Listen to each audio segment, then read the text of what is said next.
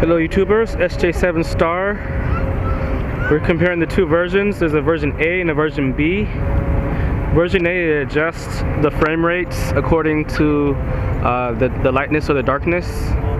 So this is nighttime, so the frames may drop. Version B, it locks in the frame rate. Gyro is not turned on on either one of these uh,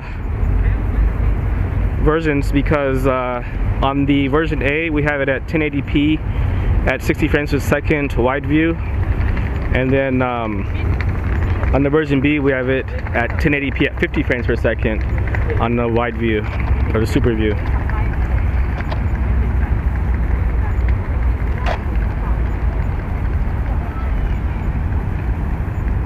Nice night out tonight. We have a little dog. He wants to get in the video.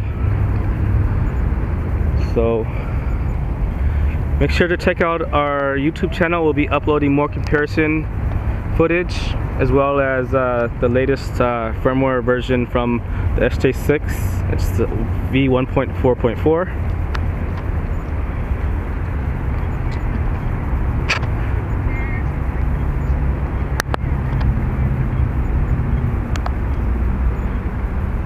Again, the uh, version B, it's at 1080p at 50 frames per second, super view.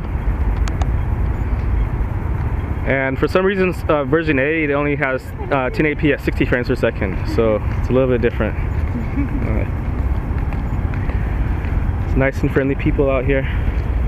We're in Hong Kong right now. So we'll be heading back to Shenzhen, so we'll probably get some more footage from the Shenzhen as well. So guys, this, this about wraps up this review. Make sure to like our video, subscribe, and thanks for watching.